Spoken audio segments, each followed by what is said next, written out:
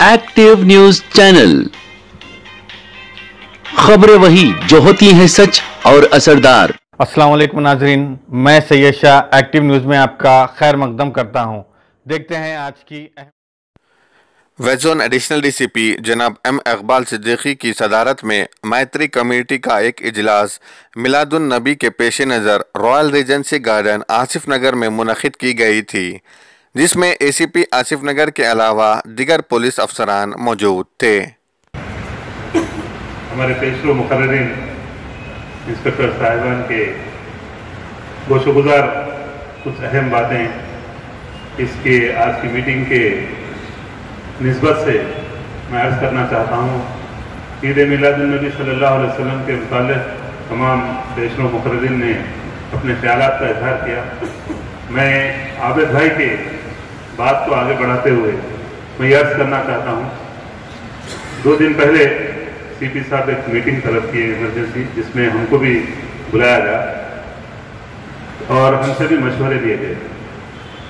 میں آپ تمام حاضرین سے یہ گزارش کرتا ہوں کہ انشاءاللہ عید میلاد النبی صلی اللہ علیہ وسلم کے جلوس حسب سابق کی طرح پورا چلے جائیں۔ لیکن ایک بہت اہم اس ملک کا ملک میں ایک اضطراب کی کیفیت ہے؟ اس سے متعلق تمام طبقات میں تشویش ہے کہ جو رام جنم بھومی بابری مسجد ورڈکٹ کے لیے جو بھی ریزرو فار آرڈر ہے کبھی بھی سولہ سال سے، سولہ تاریخ سے پہلے وہ فیصلہ سنایا جا سکتا ہے۔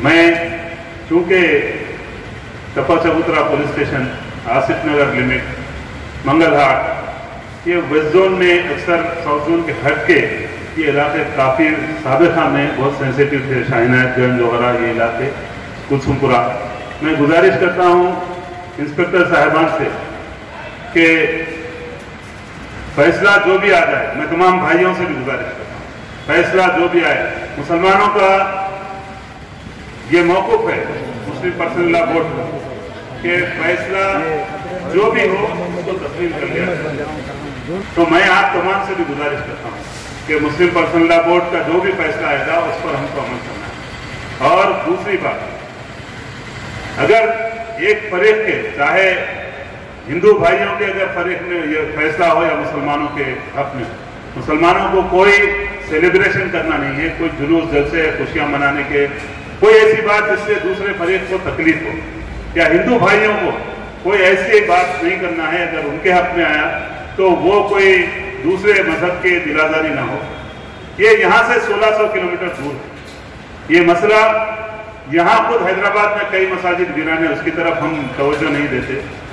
یہ چیز وہاں رہنے دیجیے شہر کا امن، شہر کی سلامتی ہمارے مستقبل کے مستقبل پر منحصر ہے۔ یہ چیز میں تمام بھائیوں سے گزارش کرتا ہوں کہ جمعہ میں جس طرح سے اعلان کرنے کے لیے کہا گیا ہے کہ عید میلاد النبی صلی اللہ علیہ وسلم کے جلوس کو پرامن طریقے سے کسی کو ہرٹ کیے